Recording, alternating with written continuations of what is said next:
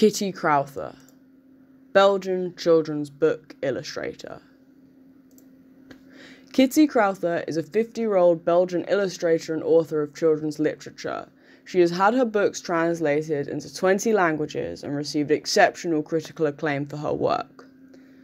Though her father was British and her mother Swedish, she was born in Brussels, Belgium, and went on to study graphic arts in the city at the Institut St. Luc.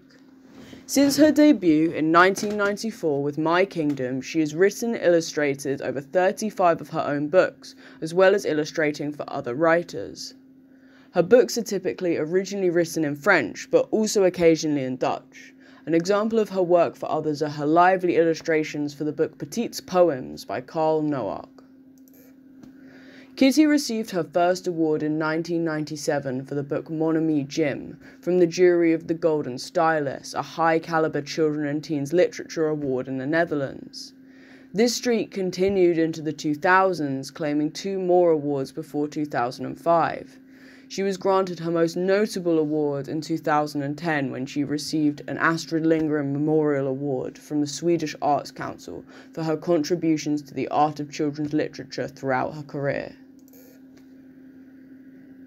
In an interview, Kitty mentioned she was a very lonely child and found solace in books through paper friends. It is important for her when writing to have a respect for children and believes that stories with strange and typical difficult topics should be available, even if adults may be bemused by their child's choices. Kitty struggled a lot in school due to her hearing problems as they were not severe enough for her to go to a specialised school.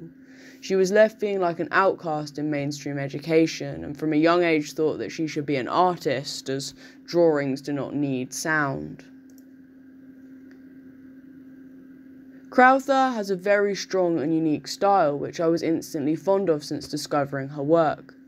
Rich and careful backdrops carry the mood of her pieces, which are brought to life by harmonious colour. Her work has immense variety, for example, the forest from L'Enfant Racine has a completely different atmosphere to the ocean in Mon Ami Jim. The yellows and dark browns of L'Enfant's sobering woods feel miles away from the gentle pale blues of Jim's landscape. These vibrant settings give the impression that her characters inhabit a wider space, that these environments continue when I take my eyes away from them. From learning about Crowther, it appears that this is less of a stylistic choice and more of a fundamental component to her work. Crowther believes that her stories are their own entities and they choose her, not the other way around. With a keen eye and a respect for the lives of her well rounded characters, Kitty is able to blend fantastical landscapes with grounded themes. Mama Medusa is a recent tale about a jellyfish woman and her child.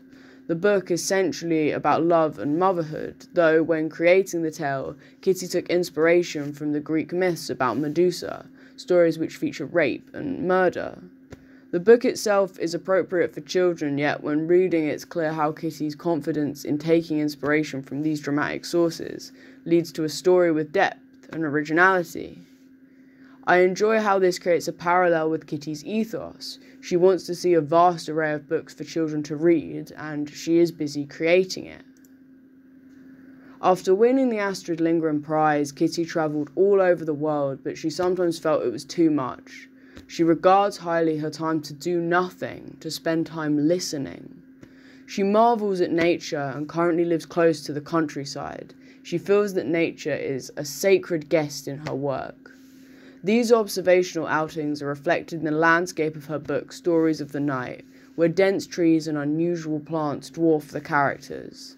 These illustrations are my particular favourite. The colours are so rich and unrealistic that the forest bursts with unknown possibilities.